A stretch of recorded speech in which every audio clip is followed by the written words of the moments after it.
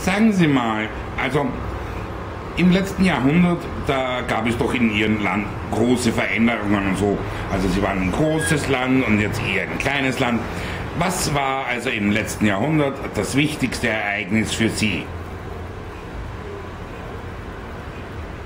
Gut.